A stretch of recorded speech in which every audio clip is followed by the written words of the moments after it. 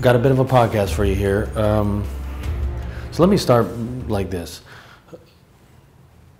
Let me explain, from my perspective, creatively, choreographically, what the art of ballet really is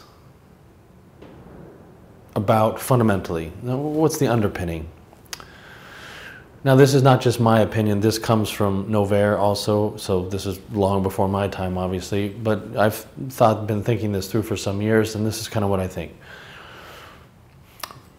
So we've all we, we all have one thing in common, for sure, all, all human beings, and that is that we reach a level of emotional intensity to which words cannot we cannot express those feelings adequately through words. Words are just too clumsy, right?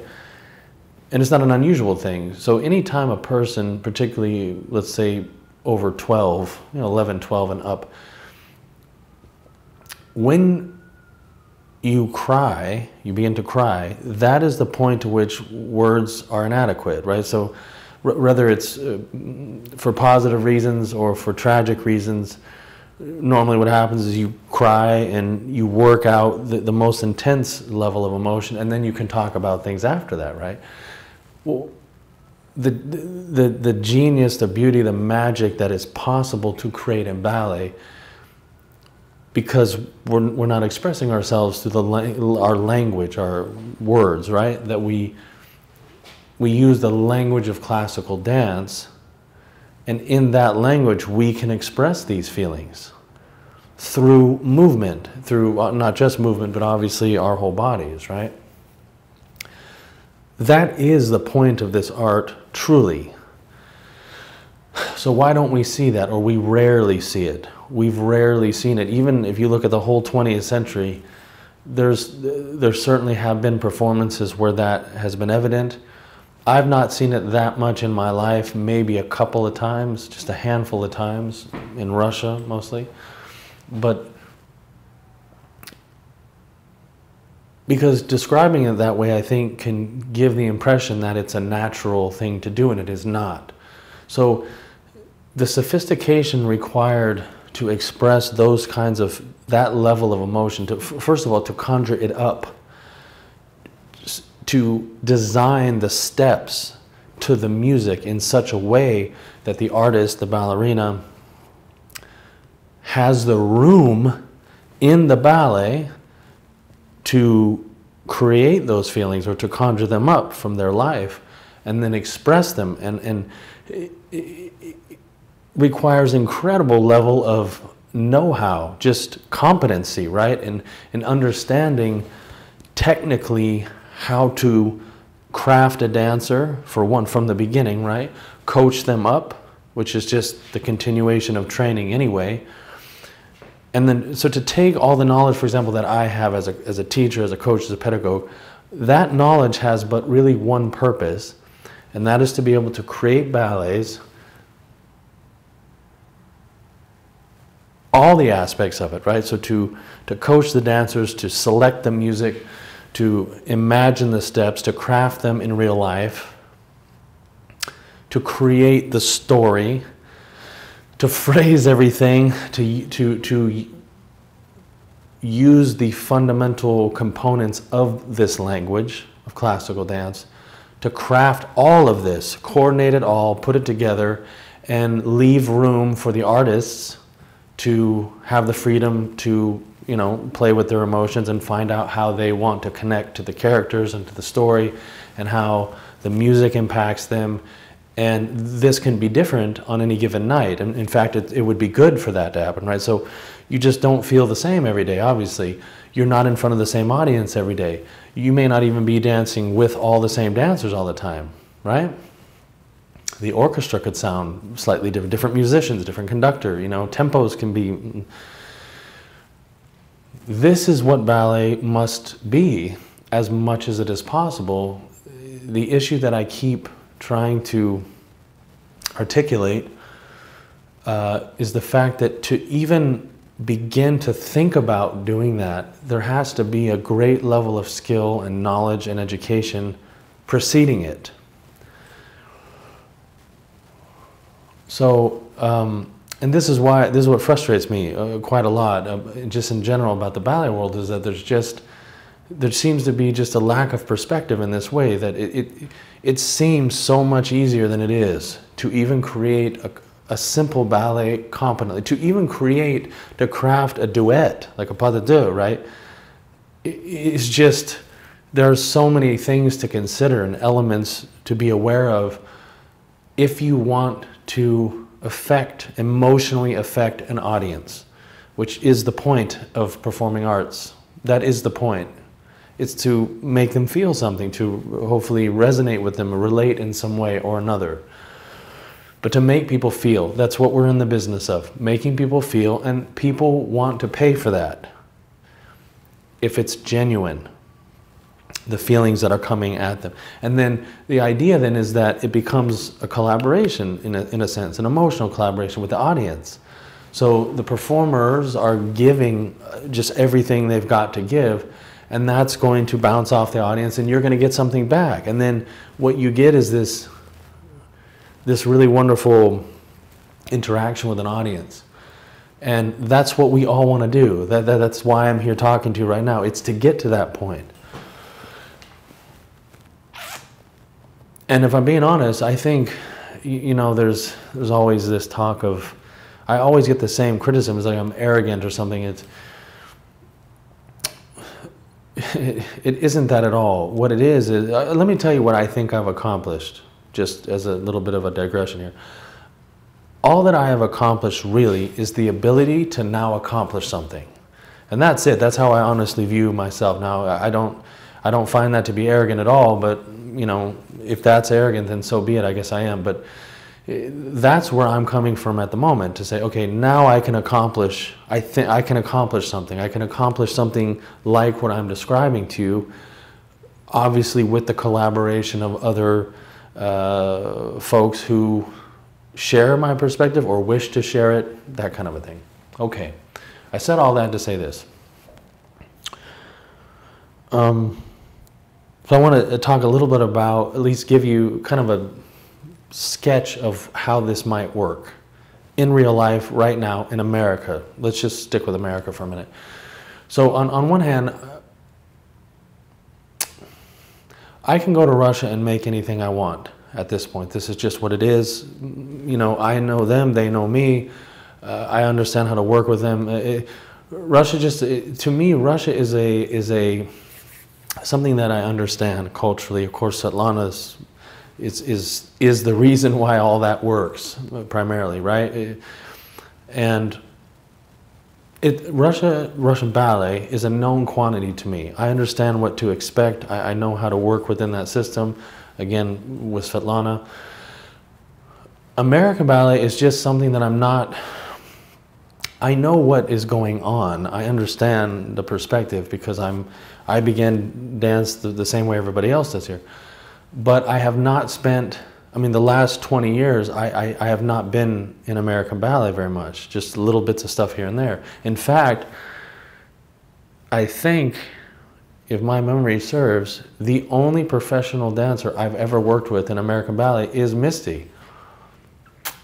Right, so that, that's it, you know, in terms of my connection to American ballet, the profession. So,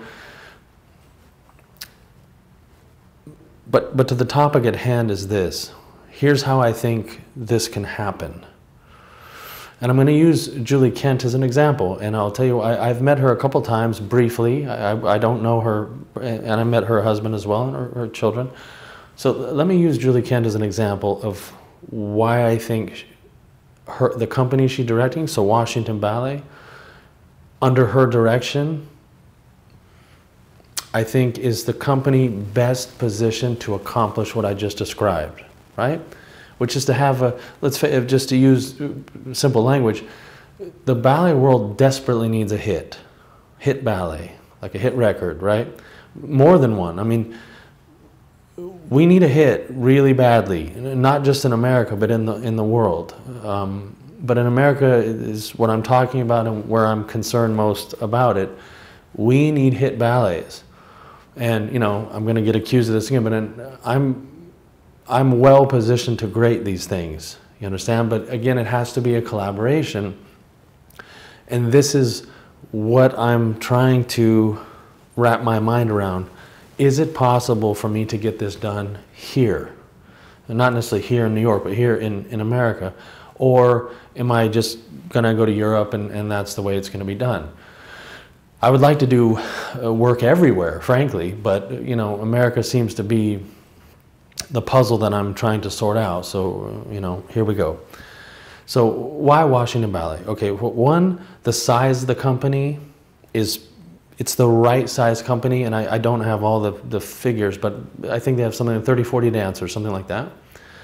Um, Julie Kent is the right person to lead a ballet company, in my opinion um, and the fact that it's in the capital. So these elements to me mean that this company can innovate very efficiently, like maybe a season or two, maybe just a season, right? It depends on a number of factors, but and I'm going to go further with this, and this is really the point I, want to, I wanted to get to. Uh, I think Julie Kent should be dancing, frankly. I think the new, let's, let's say there were to be a new ballet made. I think it should be set on, on uh, I'm using her as an example, but her, right? She should be dancing. Now, I'm not telling Julie Kent what to do. I'm just saying if, if, how do I say this? Okay, let me back up a little bit. Let me tell you what I, how I responded to Misty's first email to me. I'm just, just a little piece of it. What I, how I responded, she wrote and expressed herself, and what I responded is like, look, you, I, I told her that you are in the prime of your artistic life. So uh, I'm just going to stay with women right now because it's the theme I want to talk about, but the same for men. A woman in her, let's say, mid 30s and up is the mo- really the most interesting kind of person you're going to interact with, not, not just in ballet, but in life. There, there's, there's something about that age and up where, and, and I can tell you from personally what it is, you tend to take on real life changing responsibility in your 30s, right? You get married or have a committed relationship and then children. And these are massive life changing steps that I found put people in touch with themselves. Right? You, you, how else do you understand yourself without taking responsibility on that's really, frankly, too much for you to handle in the moment that it begins? And you just have to figure this out. Like the moment, I'm just saying, the moment that you become a parent, that moment, right? Because I was in the room Misha comes out. I mean, you go from zero to your whole life just changed in front of you. And I'm just speaking from the dad side of it, but for a mother, I, I, I mean, it's intense in a way that I mean, and, and, it's not just a momentary. It's it's still that way. You know, Misha's 11 years old. It's when you recognize when you just recognize the responsibility there, it's, it's phenomenal. And so I think one of the reactions that just occurs in your mind is that, you know, it does, of course it grows you up, but it also, you learn a lot about yourself when you're under pressure, you know. So I said all that to say this. So, for example, Julie Kent has children and family and the whole thing.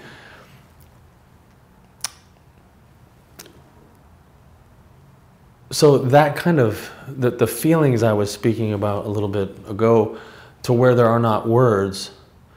I mean, look, being a parent, the kind of love that you have for your, your child, the kind of frustration that you can have with your child, uh, just the full spectrum of feelings are, are pretty well beyond words, right?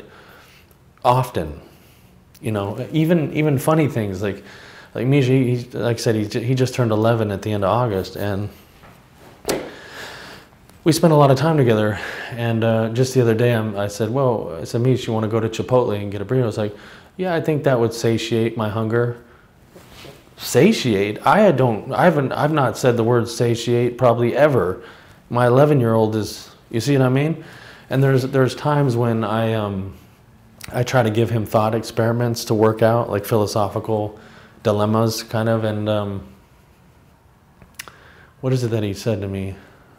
He used a really good word. He, uh, shit, what was it? Oh, yeah. So he says, I, I gave him one of these. I says, Dad, that's, that's quite a conundrum. Conundrum? Where is he getting this vocabulary from? You know what I mean? Like, so just some of these things that you experience being a parent goes just beyond the normal range of, of feelings is my point.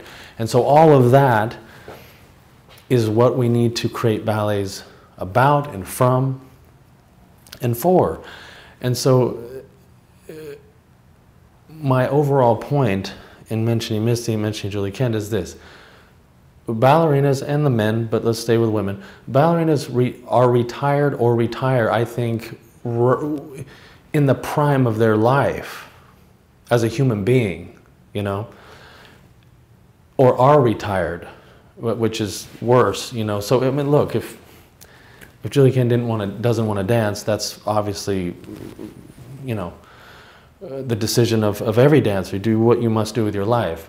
I'm, but to be retired when there's still there's just so much I think in in the tank that can be shared and explored and and, and created that is to me it's just a, a bit of a tragedy and this is the history of ballet by the way. Now, we, now obviously you have some ballerinas like Maya Plisetskaya danced into her 60s so you have examples of women that have kind of transcended the, the normal nonsense. And you know it was brilliant. Brilliant right? And I, I don't know, I have half a mind to, to just form, to maybe create a couple of ballets like this, just encourage some of these ballerinas of this generation, say, come out of retirement, let's get you squared away, placed and strong and the whole thing, and let's create some really brilliant stuff. You know, I mean, these, these are thoughts I'm having anyway. Now, but here's the thing if you look at what is at the center of most ballet companies in the world, the repertoire, right? These are ballets whose origin, they, they're not created, well, they're almost all created by men. I mean, they're all created by men, right? Sometimes with the classics, Balanchine, all this I kind of put in the same category. They're created by men and the so without, I mean, really, I think without any genuine collaboration with the women who premiered the roles, uh, right? I think it's just mostly just giving orders kind of a thing. And so not only were they created in another time, right, especially the classics, I mean, these are 100, 150 years old. It's just a completely different time, and obviously, I mean, the women didn't have the right to vote when these ballets were created. You know, I mean, it was just, just absurd, you know, that we would carry these things over to the present. These men uh, surely didn't really understand women at all. I mean, they just had this very, I think, narrow view of what a woman is, was. Um, and I don't exempt myself. I'm not saying I understand women in a, in a great sense. I mean, I think it took me probably a decade just to understand my wife to an, to an, a good extent, right? Um, you know, the,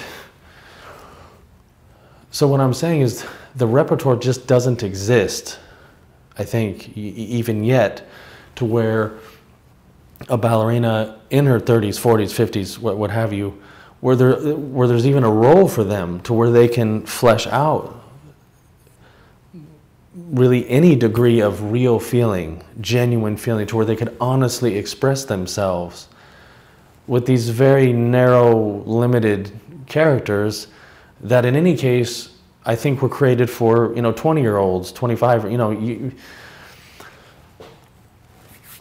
I mean, all I can say is my 20 year old self was a moron just on all like there's, really very little relation to my 20 year old self 20s and who i am now you know post marriage and kid and that kind of thing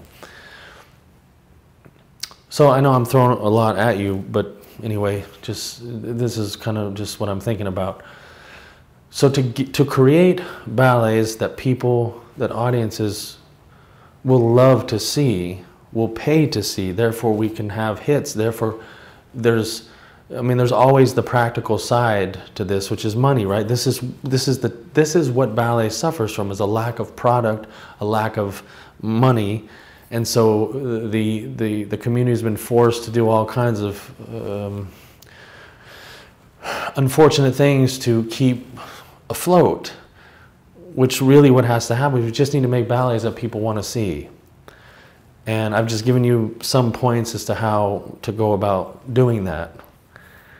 And I think, you know, step one is to, for those ballerinas and male dancers who wish to continue dancing into their 40s and 50s, uh, Vladimir Vasiliev did this, Maximova did this, you know, so there, there, there is history here where you can watch them dance brilliantly.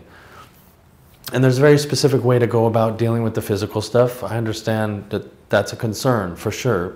But placement is the solution to that. I've already demonstrated that with Misty to where you actually get stronger. You know, whatever injuries are there or were there, these things can be sorted out.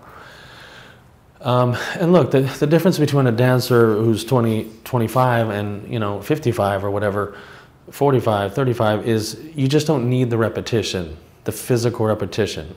So for a ballerina like Julie Kent, she has a, a, whole lifetime of experience. She doesn't need to do class, like dancing around in a, in a normal class. It's just a very, very, uh, very precise type of training. You, most of you know what I'm talking about with placement. And then you just get to work on the choreography. And you just take placement and you apply it there and you, there's no need for all of the running about, you see. So this is, so as you age in ballet, the, the the pedagogical understanding is that you preserve yourself, right? In other words, you don't dance, you know, three, four times a week or even once a week. You know, you, you preserve yourself, take care of yourself, you know. So yeah, I, I think that of, of all the companies in, in America that I am aware of, I think Washington Ballet is the one best position to I think even lead American Ballet, if I'm being honest. But you know, obviously there's a lot of variables there to consider. But just as, as a general statement of fact, this is a company that I think is worth paying a lot of attention to. And you know, I think there's a ton of potential there. And I would like to see Julie Kent dance, to be honest with you, and just but but have a, a role created on her. And then you know and this is one of the things the soviets did right. So you, although again with the very limited range of roles but what could be done here for example so we set ballets on these generations of ballerinas. So they dance as long as they feel like they want to dance and can do it well but then there's always the next generation that can come up and be mentored by these dancers but so there are roles that originated on them. So we have current generations now. We're, we're not trying to set a ballet that's 150 years old on, on really a totally different culture uh, in the world that just doesn't match up at all. You know, we're just, so, so just like the classics were old 100 years ago, and this is not my opinion alone. This is the opinion of uh, the Russian ballet scholars a hundred years ago, they like for Fokine, obviously there was this whole movement of Fokine wanted to move things forward, Vaganova, and so there's a Petipa, Vaganova were kind of one political unit, and then Fokine and, and others were another political unit. They wanted to move ballet forward. They wanted to preserve Vaganova, uh, Petipa wanted to preserve. I mean, Vaganova and others wanted to preserve the Petipa ballets. Is what I'm trying to say. And you know, obviously they won out, and now we're all still doing these these very narrow ballets, and that's just my opinion. People will disagree. That's okay, but uh, you know, we're not still riding horses. You know, uh, we're not still burning coal, at least in the Western world. Uh, I mean, in our homes, uh, you know, culture has moved forward, the world has moved forward, and we need to move forward with it. This is my point.